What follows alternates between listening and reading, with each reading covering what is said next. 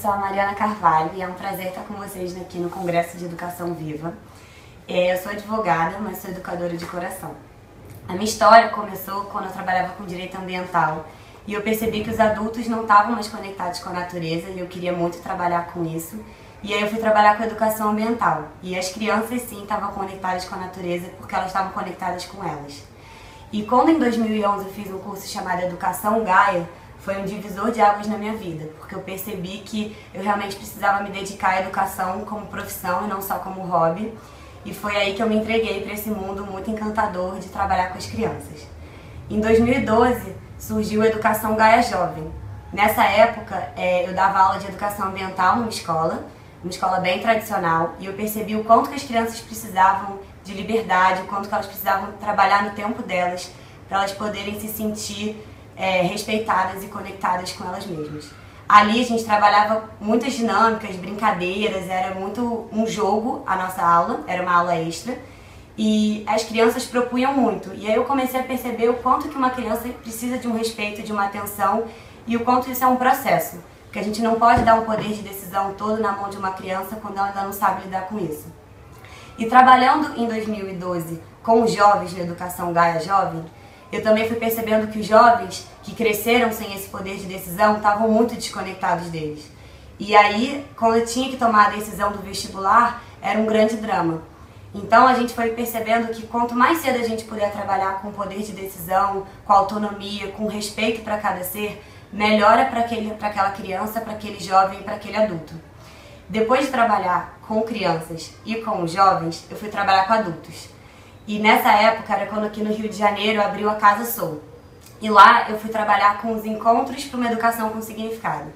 Que eu queria muito conhecer pessoas que viviam uma educação transformadora, pessoas que viviam uma educação com significado. Então eu fui convidando um por um para poder compartilhar essa experiência. Primeiro veio José Pacheco, depois veio o André Gravatar, veio também a Ana Tomás, a Ivana da Escola Viva de Piracanga, também veio Caio Dib, o Argos Caruso, Rita Mendonça, entre vários outros educadores muito inspiradores que trouxeram suas experiências lá para o grupo que estava na Casa Sou e a gente pôde aprender muito com eles como não existe uma educação única, uma única forma de fazer. Existe a educação que tem significado para cada um, para aquele lugar, para aquele grupo.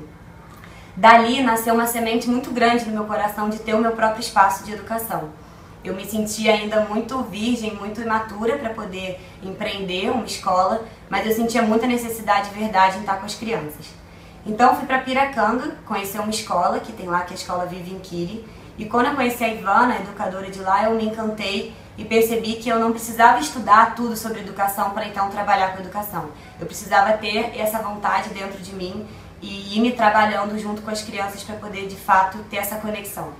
Então a gente viajou ano passado, em 2014, por vários lugares na Argentina visitando escolas vivas, que já existiam, escolas vivas que estavam nascendo naquele momento, e eu pude perceber como cada escola é diferente. Mesmo tendo essa base comum, que é a base da escola viva, cada uma nascia de uma forma. E aquilo para mim foi muito verdadeiro, porque eu percebi que o que eu poderia criar no Rio de Janeiro seria único, seria a minha forma.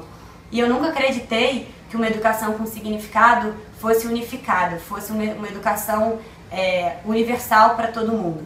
Eu acredito muito nas particularidades de cada um, eu acredito muito que cada um tem uma potência e uma essência, então que a gente precisa estar presente para observar isso e não trazer de fora para dentro uma de dentro é, de fora para dentro uma verdade.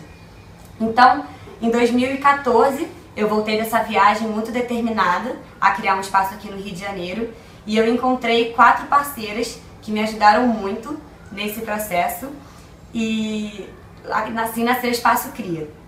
O Espaço Cria é uma comunidade de aprendizagem viva para crianças de 1 a 6 anos e hoje a gente está aqui no espaço onde a gente realiza o Pólen, que é um projeto onde as crianças vêm aqui para brincar de manhã e a linguagem da brincadeira é a linguagem que eu acredito que é a das crianças. Porque ao brincar, as crianças estão conectadas com a presença, com a verdade delas.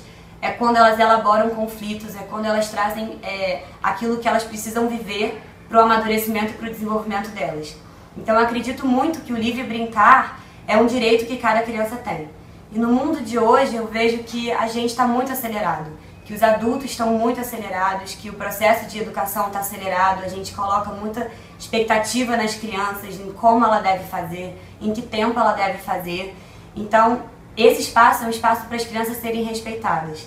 É, eu acredito muito, eu incentivo muito a vocês a criarem espaços assim, onde as crianças podem brincar no seu tempo, onde elas podem ser livres para escolher qual é a forma que elas querem se expressar. E eu acredito muito que dessa forma, e a gente tem visto aqui no Poli que isso acontece, as crianças estão em harmonia. As crianças se sentem muito conectadas com o que é verdadeiro e elas ficam muito bem. Então, assim, para que uma educação com significado aconteça, eu entendo que, e eu digo, compartilho com vocês a minha experiência, que é preciso deixar a criança ser criança. É preciso deixar a criança viver essa experiência, essa etapa única e tão importante para o nosso desenvolvimento, que é a infância. Muitas vezes a gente conversa com uma criança ou brinca com ela como se ela já tivesse um outro tipo de entendimento, que é aquele que a gente tem. E o que a gente convida que os educadores a fazerem é olhar para aquela criança como um ser único, um ser que a gente está conhecendo pela primeira vez e que ele está mostrando para a gente a forma dele de se expressar. Então que a gente não tem que imprimir, projetar a nossa forma de olhar para aquela criança. Então como é que funciona aqui esse espaço do poli? A gente tem dois ambientes, é esse onde eu tô e um outro ali mais à frente, que é onde ficam crianças de dois tipos de idades. Ali na frente ficam crianças de 1 um a mais ou menos 2 anos e meio, e aqui na frente, aqui atrás na verdade, ficam crianças de 2 anos e meio a 6 anos. E a gente entende que essa divisão ela é benéfica porque tem crianças que ainda não sabem se relacionar totalmente com a outra, com o espaço. É, hoje em dia a gente tem famílias, né, que são muitas famílias de crianças de filhos únicos, que não têm em casa aquela convivência do compartilhar, do dividir. Então a gente precisa trazer esse processo educacional para a criança, de uma forma harmônica e saudável. Então a gente coloca nesse espaço dos maiores as crianças que já sabem se relacionar com o que a gente chama da matéria, com os brinquedos, com os outros, com as outras crianças. Então aqui elas podem dizer se elas querem brincar com a outra, se elas não querem, elas podem expressar os sentimentos, elas podem verbalizar as emoções, elas podem decidir que elas querem brincar juntas, elas podem criar. Além do que, aqui tem materiais também que são apropriados e adequados para crianças mais velhas. No outro espaço, as crianças ainda estão descobrindo muito quem elas são. Elas são crianças que estão sentindo muito ainda o que, que é o mundo. Ah, então isso aqui faz barulho, isso aqui é, é mole, isso é duro. Ah, e estão descobrindo também os limites entre umas e as outras. Então tem momentos em que uma criança está brincando sozinha e, um e outro momento uma outra criança chega, ela ainda está aprendendo o que, que é essa outra criança chegar, o que, que acontece quando uma outra criança chega. E a gente entende que esses ambientes eles precisam ser preparados. Porque um ambiente preparado para uma criança ele é um ambiente que é seguro para aquela criança poder se expressar livremente.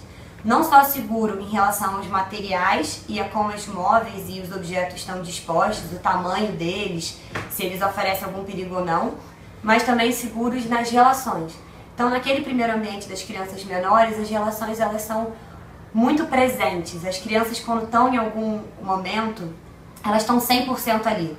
Então, se elas estão brincando com alguma coisa e depois elas vão brincar com outra, aquelas que elas estavam brincando já não está mais na cabeça delas. Nesse segundo ambiente da, das crianças maiores, a gente percebe que a criança está elaborando, ela começa a criar e desenvolver um projeto de brincadeira. Então ela junta uma tinta, depois ela traz um papel, depois ela bota uma purpurina, depois aquilo ela junta com um fantoche que ela vai criar e ela faz toda a dramatização que ela precisa para elaborar as relações delas. Ali no primeiro ambiente, a gente percebe que é muito importante que o educador esteja 100% presente com aquela criança. E que quando ele esteja lidando com ela, ele esteja lidando também com as próprias emoções. Então aqui a gente chama de comunidade de aprendizagem porque todos aprendem com todos. É um espaço onde o educador também está sempre se trabalhando, sempre aprendendo e lidando com aquilo que a criança traz para ele, não como se ele soubesse já o que ele tem que fazer, mas se abrindo para o novo, se abrindo para aquilo que existe entre um e o outro na relação. E por isso essa educação tem significado para a gente, porque ela é uma, uma educação que acontece na relação. O mais importante para a gente aqui no Poli é perceber as relações. Uma outra coisa importante para a gente também é que o ambiente esteja vivo e que essas relações estejam vivas. Então, se um dia um material funcionou de um jeito para uma criança, mas no outro dia não está mais funcionando, a gente mexe, a gente muda. Todos os dias a gente arruma e desarruma esse espaço, é, olhando e pensando o que está em uso e o que está em desuso. Porque as energias, se elas estão em desuso, elas ficam estagnadas. E a gente começa a perceber que a criança, o desenvolvimento também fica estagnado. É, as relações são vivas porque a gente deixa que a criança é, mostre pra gente aquilo que ela precisa. Uma outra coisa que é muito importante numa comunidade de aprendizagem é o trabalho com as famílias. Então as famílias também são muito convidadas e estão sempre sendo é, chamadas a observar o que, que elas podem fazer para que as crianças se desenvolvam da melhor forma. Os pais sempre têm as melhores das intenções com seus filhos, mas muitas vezes aquilo que está acontecendo no desenvolvimento de uma criança é uma projeção de um pai, é uma dificuldade que aquele pai está tendo de lidar com algum assunto e a criança está mostrando aquilo, ela está refletindo aquele pai.